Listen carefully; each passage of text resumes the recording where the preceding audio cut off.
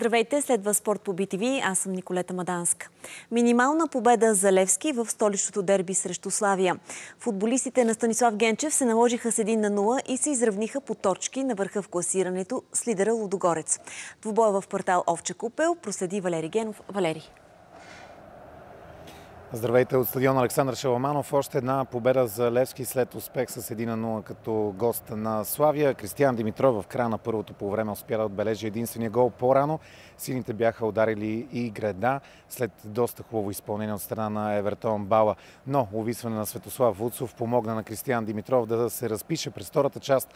Славия пое в общи линии инициативата, но така и не стигаше до чисти голови положения, така че Левски отново изравнява отгорец в класирането на първата позиция, макар и с матч повече. Мажоритарният собственик на сините Наско Сираков беше тук на стадиона, но подмина журналистите, не желайки да говори дори и за темата собствеността на стадион Георгия Спарухов. Валери Генов, благодаря. Певицата Камелия ексклюзивно в ефира на BTV за скандала на седмицата. Отказа на диджей Мартен да пусне нейната песен «Луда по тебе» след матча между Новак Джокович и Григор Димитров.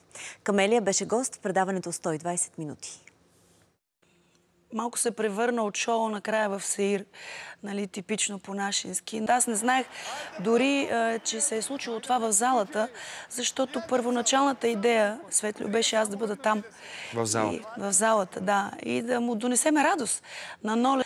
И той показва всеки път, че тази е една от любимите му български песни. Според мен, диджей Мартен е достатъчно професионалист, че можеше да направи и ам, хаос ремикс, но да зарадваме госта си. Тук не говориме за личния вкус да го наложим на, на, на, на хората в залата и пред телевизорите. Тук беше чисто принципно да зарадваме госта си, който откликна да участва в този благотворителен спектакъл. Продължава здравата битка между отборите на Европа и света на Лейвър Къп. Григор Димитров и съотборниците му изостават с 7 на 11 точки.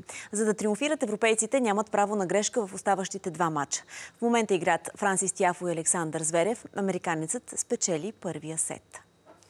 Сензация в тежката категория на професионалния бокс. Даниел Дюбуа нокаутира Антони Джошуа в петия рунд пред рекордните 96 000 зрители на Уембли и защити пояси си на Международната боксова федерация IBF. 27-годишният Дюбуа, сочен като абсолютен аутсайдер в битката за Британия, повали бившия световен шампион цели пет пъти. Грамотевично дясно круше в петия рунд нанесе четвърта загуба в кариерата на Джошуа. След гръмката победа Дюбуа заяви, че иска да стигне до най-високото ниво в бокса.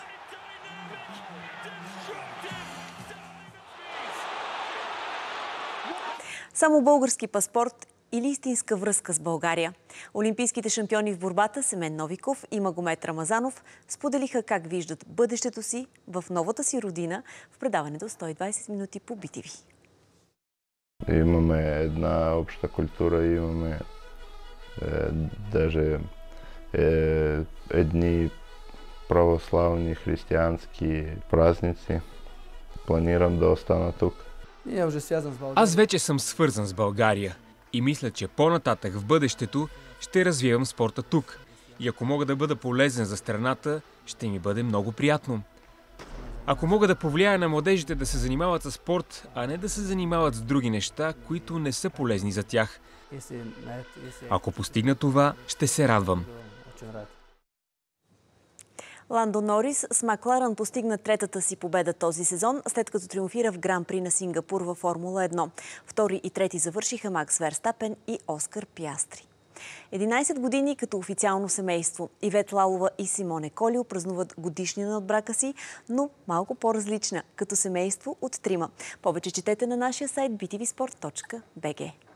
Десето място за женския ни национален отбор на шахматната олимпиада в Будапешта след успех над Италия последния кръг. Така се разделяме. Приятна вечер!